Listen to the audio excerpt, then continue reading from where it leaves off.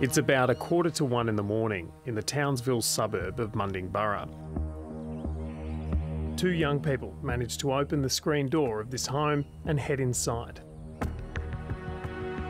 A few minutes later, they return with keys. And so begins a two and a half hour joyride, all caught on dashcam.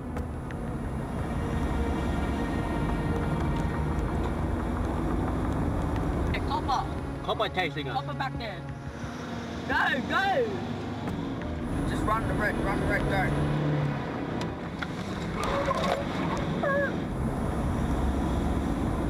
The car belongs to Rick Monk. Fly straight. Looking at the speeds heading up to about 120 kilometres per hour and knowing that it's anything could have happened, another vehicle could have come out. Public safety is at risk here in a big way. Yeah. At one point, the police pull up behind the car at a red light. Policeman right behind us. This police car turns off, but another seems to engage a short time later.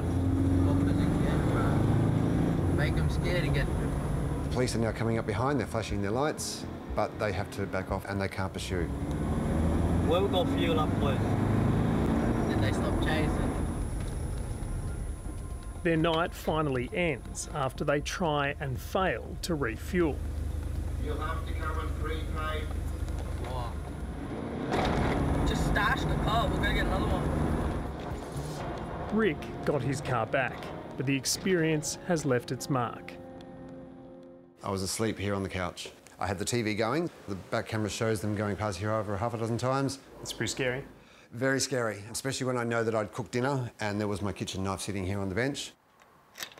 Since then, I've spent over $10,000 installing uh, stainless steel security grills. The anxiety stays with you. Um, I, th- I don't think we'll ever leave. Bubbles. Yeah, a wiggly worm.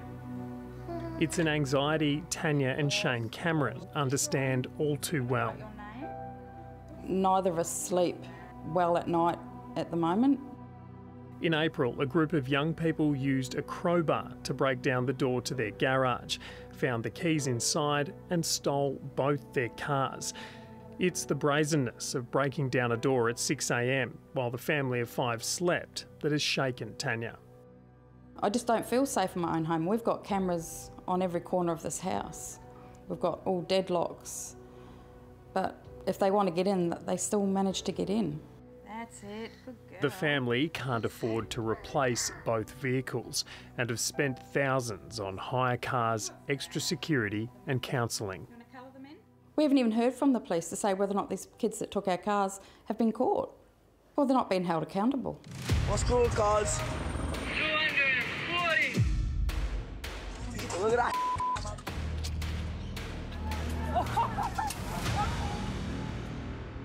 Complaints about young people stealing cars are all over social media here in Townsville, and there is real community anger about a perceived lack of consequences for offenders. The issue has become one of the central themes of the upcoming Queensland election.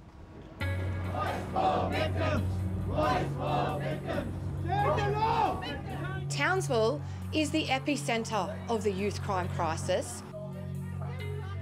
Already this year, we've seen a 10% reduction in youth offending here in Townsville. Task Force Guardian has been established to deal with any spikes in youth offending. The government has subsidised vehicle immobilisers, and late last year, a new police helicopter was introduced in Townsville. We've seen a reduction in car thefts in Townsville. We know that our officers feel safer when those helicopters are there. We want change. When do we want it?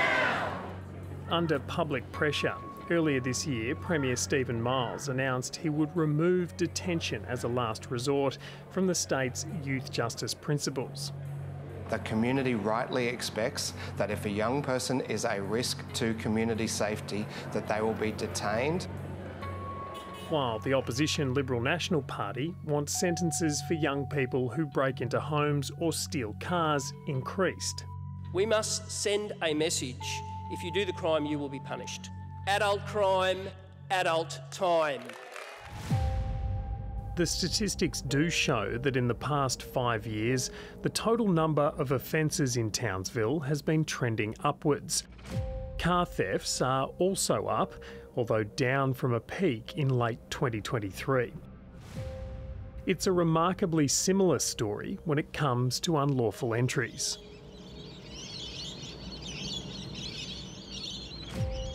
Nick Dametto is the local member for Hinchinbrook, which includes the northern suburbs of Townsville. He wants laws changed to deter criminals. People want to know that if they were startled in the middle of the night and uh, if one of those young offenders went to attack them, they would have the law on their side if they were to defend themselves. Mr. Dametto and his fellow Katters Australian Party representatives recently sponsored a petition to introduce castle law in Queensland, which would give people the right to use whatever force necessary to protect themselves against home invaders. This petition I opened for five weeks and garnered 40,000 signatures. If people knew that by crossing, I guess, the threshold or the Rubicon of the front door, uh, they knew that the people behind that front door had the right to defend themselves. Maybe those youth offenders, all the way through to adult offenders, may second guess uh, taking on that risk. Are you worried that non violent intruders could be injured or even killed?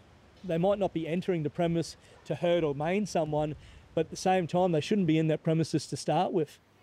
Castle law is not part of either major party's policy platform. What people need to realise is some of these kids, they feel more safer out in the streets, you know. There could be things happening at home that we don't really see. Anthony Watton is a local social worker who says new laws or harsher sentences will only create future problems. Deep down, these young people are damaged, and locking them up for a long period of time without rehabilitation and close mentoring, nothing will change. And they go in as, you know, angry young teens or angry young kids, and they'll come out as violent and aggressive adults. Figures from the Queensland Department of Youth Justice show that in the 12 months to April last year, 286 young people were subject to detention orders, 257 reoffended within 12 months. The year before, of the 248 detained, 226 reoffended. Mr. Watton says it's clear detention isn't working to address the causes of crime. That's something he has personal experience with. My early teenage years, it was very full on, very rough, you know. I was a very angry young person. I went down the wrong track, hanging around with kids that were doing crime, and then I sort of got into that as well, and a lot of aggressive behaviour and hate for my own individual lifestyle. I know what they're sort of going through, the, the family environment, and sort of the aggression that they have.